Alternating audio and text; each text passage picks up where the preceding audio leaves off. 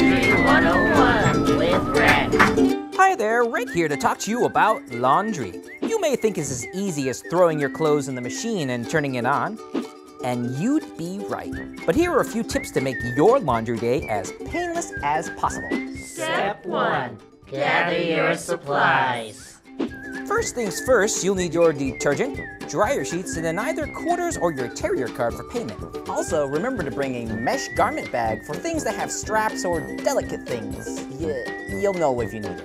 If you have any stained clothes, be sure to use stain remover on them before you put them into the washer, like this. Stains, stain remover. Step 2. Choose a machine and wash. And wash.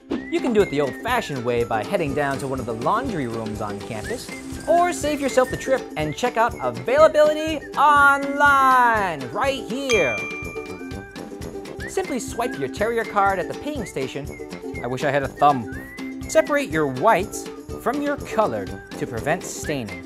And be sure to put anything delicate in that mesh bag you brought along.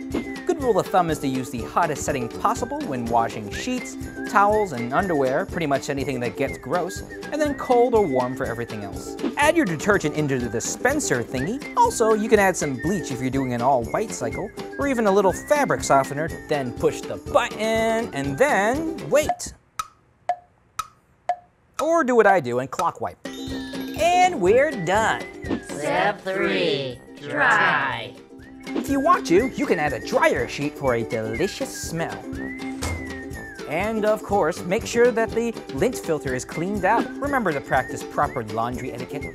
The law of the land says if someone left their clothes in the machine for more than an hour, others have the right to place them on top of the machine for them. Well, that's all the time we have here. I'll see you around. I'm only dry cleaning, guys. Dry cleaning only.